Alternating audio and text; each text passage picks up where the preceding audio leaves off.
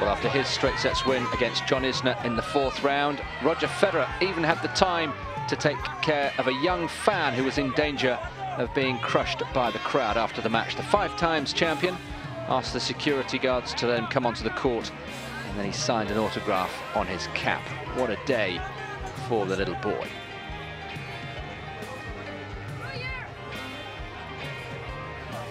A moment he'll never forget